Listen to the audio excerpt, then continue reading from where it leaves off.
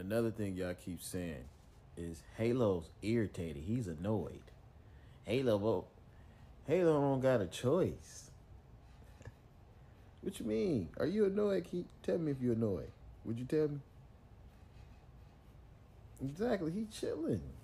But if he was annoyed, I'm his daddy. I know it's some kids out there, Halo. It's some seven month old babies out there that wish their daddy would annoy them. So I hope you don't ever feel like I'm annoying you, okay? But if you you better not push my face. You better not push my face in front of these people. Don't embarrass me, okay?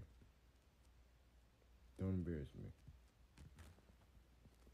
Don't don't don't do that. Don't embarrass me. Alright, I quit talking to you. Don't show the back, man. Come on, man. We still working on hang time.